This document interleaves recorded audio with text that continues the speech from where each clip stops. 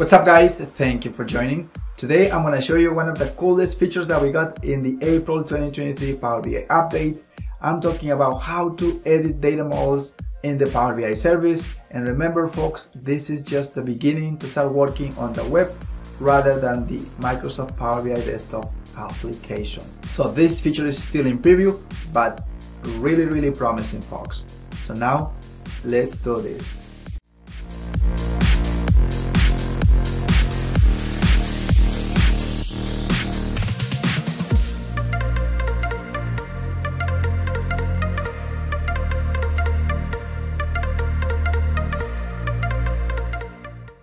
So real quick for today's tutorial, I'm going to be covering three main points here. I'm going to show you how to enable the preview feature. Remember this is still in preview like I said before.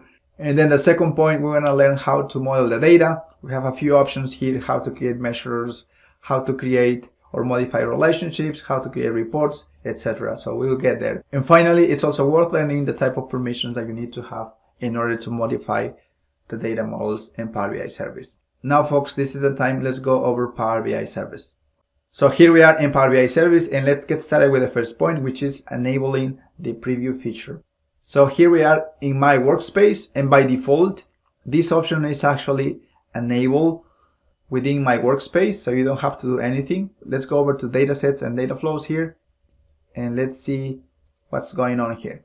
So let's open this dataset and as you can see, so this option right here, the open data model is already active. So if we click on here, so you will see automatically the data model there for that specific data set. You can delete it, you can make any changes here for now, and then you can start editing and playing with this model.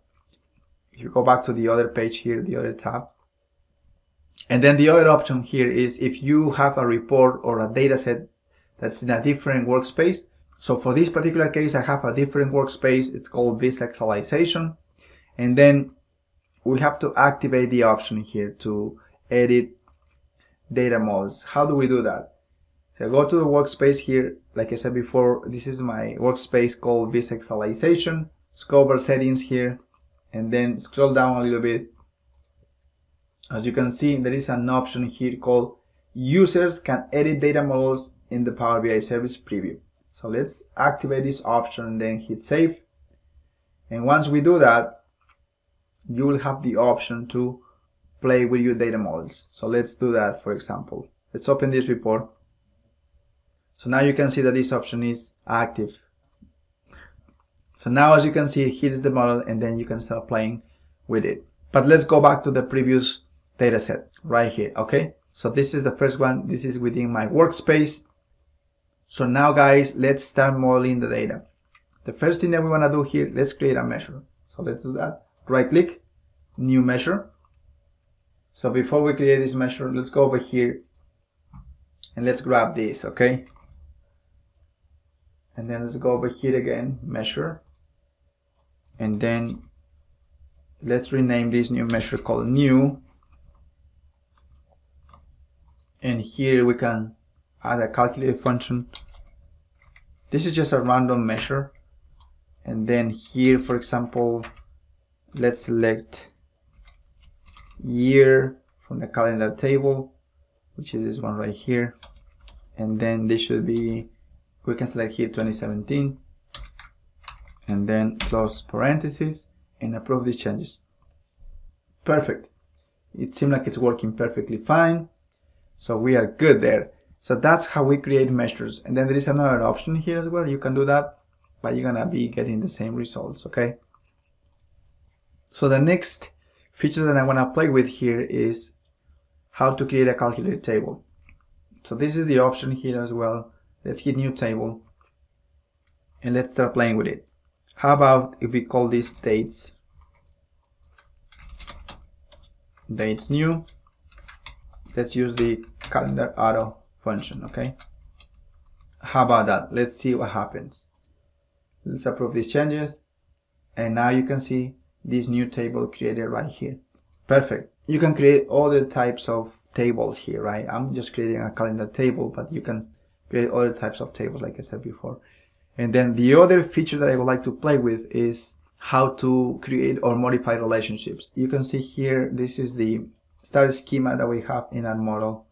So let's make a couple of changes here. You can clearly see here that the fact table is in the middle and then the dimension tables are around it. So let's say that we want to inactivate a relationship. So you can do that. For now, let's say that we don't care about promotion.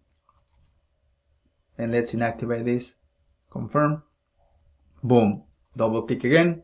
It's inactive. You can make changes, right? You can modify and also, like I said before, you can create new relationships. And then the other feature that I would like to share with you is to manage and also assign people to roles. So let's do that. This is the option. And then here, let's create a new role here. How about if we go over territory, just for Europe. Okay, this is my, my role. And then this group is actually here, part of territory. I'm just selecting the table here and then I need to add a filter, any here, and then let's look for sales territory group which is this one. This should be just for Europe. And then let's save these changes. It's working. And then we can assign people to this role. So let's go over here. Assign. This is the role. And now we are ready to add people to this role. For this particular case I'm gonna add just my email. It's actually right here. And then add it. And then save it.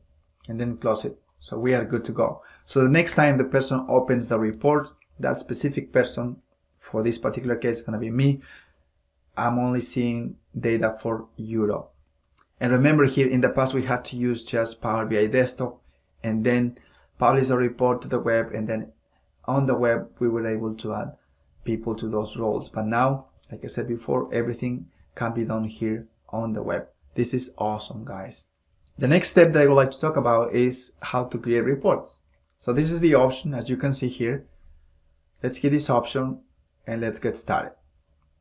So you can create reports by using this preview dataset.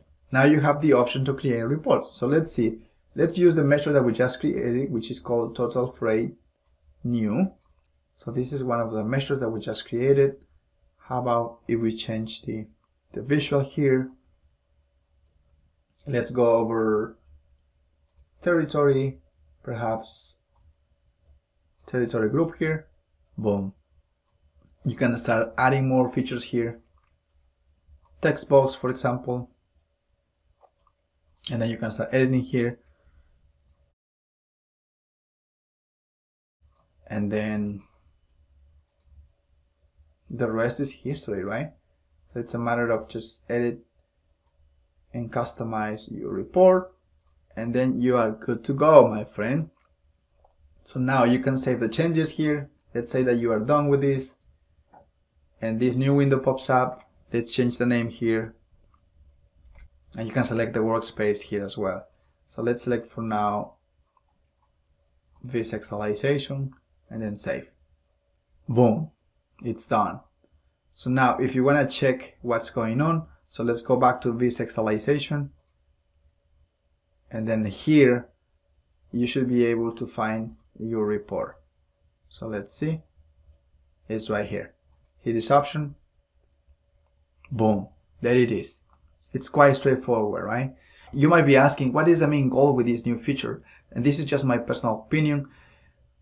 I would say that one of the main goals is to start using more the web and then start using less and less the Power BI desktop application. So the idea here is that people who have different types of devices, different operating systems, they can work just perfectly fine on the web. Specifically those who have a Mac computer, for example, right? So they don't have to have a virtual desktop to start using Power BI. And then the other goal is to encourage collaboration among developers, right? But remember here, in order to make changes on the web, you have to have permissions. So the user must have write and build dataset permissions. This is in order to open and edit the data model in the Power BI service. There you have it my friends, I hope you found this tutorial helpful. If so, as always, please give me a thumbs up, share with your friends, and of course don't forget to subscribe. Also take a look at these tutorials, really good content as well if you want to keep sharpening your Power BI skills. Thank you guys for your time and see you next time.